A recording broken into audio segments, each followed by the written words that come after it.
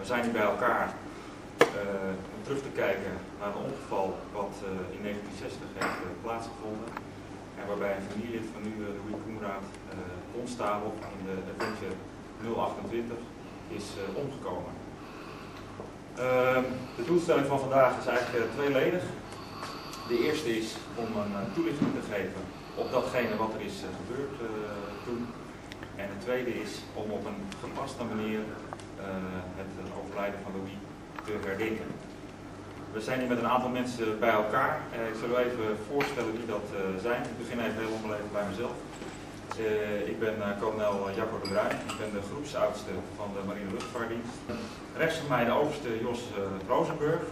Eigenlijk degene via wie dit ongeval zeg maar, opnieuw in de belangstelling is geraakt. En ook de vragen die er leefden vanuit de familie, die zijn via hem zijn die, weer binnen Defensie zeg maar, ter sprake gekomen.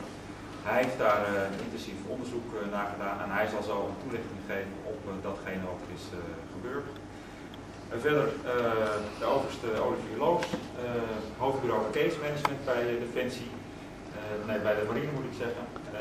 en hij is belast met het onderzoeken van allerlei bijzondere voorvallen die nu en in het verleden hebben gebeurd.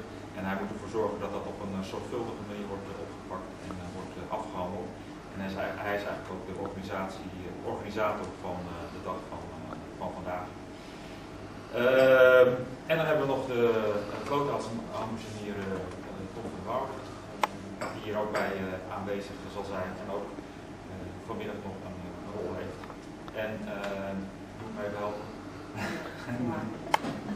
en, ja, voor de logistieke verzorging zeg maar en de verdere ondersteuning van